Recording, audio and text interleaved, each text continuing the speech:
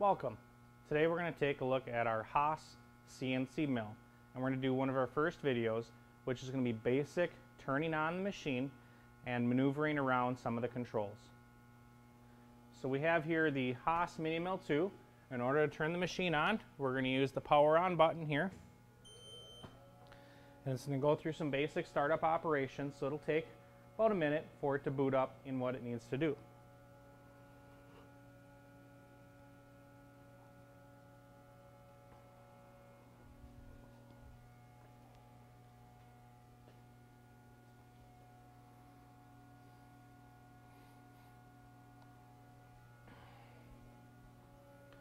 All right, once we start to see this main screen here, we've also got the light up here blinking. We have some alarms uh, being triggered here, and this is normal for setup. It's going to not only make sure that some of the resets and safeties are in place, it's also going to reset the machine back to normal home. So one of the first things we can read that it's asking us to do is re release the emergency stop. So I'm going to go ahead and usually I'll push just to make sure it's on, and then I'm going to just twist to release and that goes away. And now it says to open the door. So I'm going to go ahead and open up the door. And you'll notice right here we have a safety interlock switch with a bar. So when it's closed it knows the door is closed. So now it's actually saying close the door. So it's just testing that that safety interlock is in place and working properly. And now we have pressed the reset or enable servos. So we're going to hit reset a couple of times to get through all of our errors. And you'll notice now that we have no more errors on the screen. All right, so the machine is kind of like cleaned up, reset, ready to go, but it doesn't necessarily know where it's at. When we're talking about its 000 location, we want to go ahead and do a power up restart, which is going to be right here. And it says power up or zero all axes. So when we hit power up restart, we look inside. I don't know if we can see a whole lot moving. Because for the most part it was in the proper location. It was pretty close. Uh, but the table moved back and forth into a zero home. And then the spindle up here had moved up into a Z0 home location as well. So now we should have no more blinking messages, no more errors on the screen. Technically, we're ready to start going with whatever program it is we might want to run. One of the other things we typically do early on is we're going to turn the light switch on inside the machine because it's pretty dark in there. So we have some things like some keys over here. We have a USB port to bring our files in. And right down here towards the bottom, we have a button with a light switch. And if we press that, you'll see that the light inside the cabinet turns on. So that helps us to see what we're doing inside of that machine a little bit better as well. One of the first things we typically want to do is move the table around when we get into here because we maybe have to uh, get the vise in the, out of the way or um, zero out the vise or something like that. So we tend to do a, a move. So the last thing I'm going to show you on this basic startup video is how to get into hand jog and move around. So we've got a lot of control buttons within our control window here and eventually we'll get into more of them. We're not going to have to know all of them, um, especially from the start. But these vertical icons tend to be some of our control buttons. And next to each of the control buttons tends to be some sub menu items we can get into within each one of those. So we've got hand jog with how fast we want to move. We've got memory with how we can deal with some programs. Uh, we got our programming with what we can do with some of those programs and so on. Um, so as I mentioned, we want to move around. So we're going to go into hand jog. And once we're into hand jog, here it tells us which axis we're highlighted to move in right now if we were to start moving the wheel. The z-axis is highlighted, so if I were to start moving, the z-axis is going to go up or down, and we can see those numbers changing. I can change how fast or slow that moves with incrementally how far it moves per click of the dial. So the fastest is going to be 100 thou per click. The slowest is going to be way down here at 1 tenth per click. So typically we're going to deal with 10 thou or 0.01 for standard moves when we're trying to move around.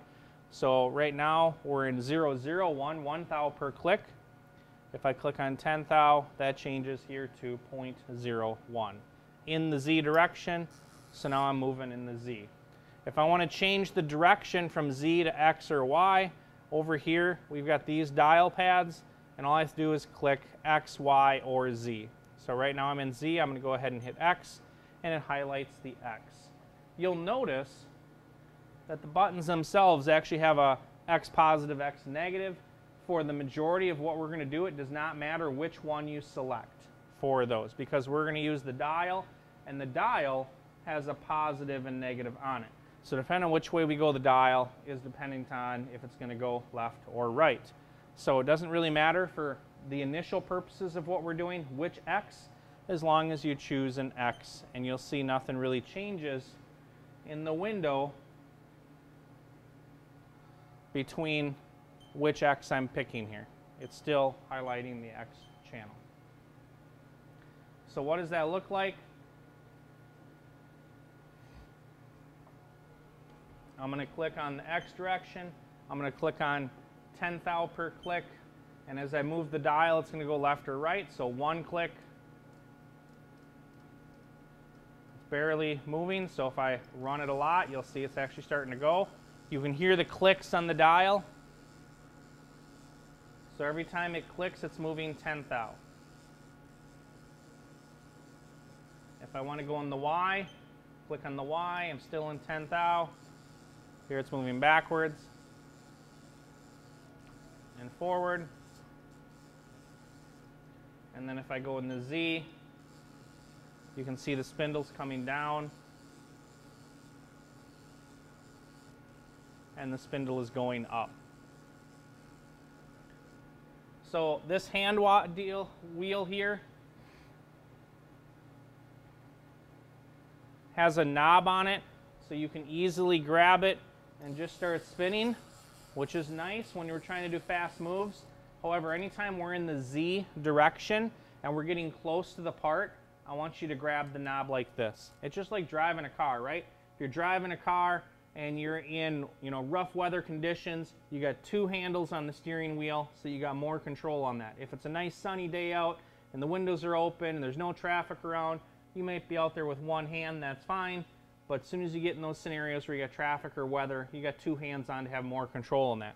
Same thing here. Anytime we get close to the part that we want to make sure we're not slamming into it, you're going to grab the outside of the wheel because you have more control. You're going to slow down on your movements. But if you're away from the part and you're trying to go quick, you can go ahead and grab out here. One of the reasons that's important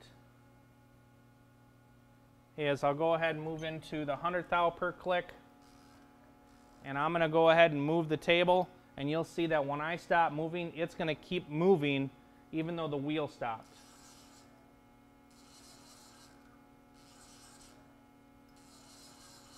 And the reason for that is the Haas has memory in regards to how many clicks I've gone. It's still going to keep going those clicks even though I'm moving faster than the machine can keep up with me.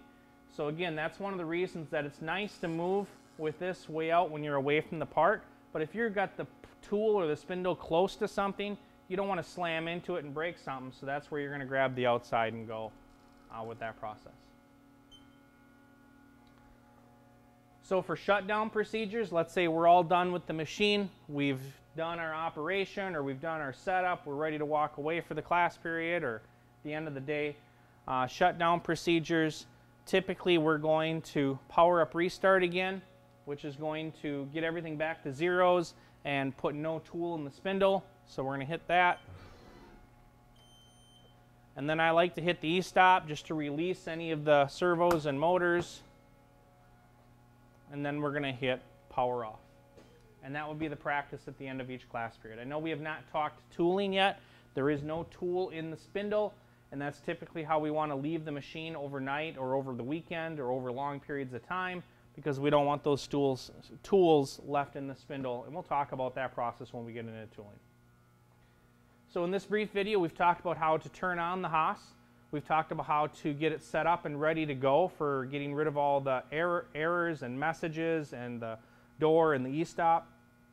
We talked about a power up restart to get everything back to zeros. We did take a brief look at moving the table and spindle around, going into the hand jog setting within the controls. And then we looked at a power down or shutdown procedure, and that was uh, going back to power up restart, hitting the e-stop, and turning the machine off. So hopefully this basic video is going to get you uh, a little bit of a comfort on starting up your first project eventually. The next video we're going to do is going to start talking about loading tooling.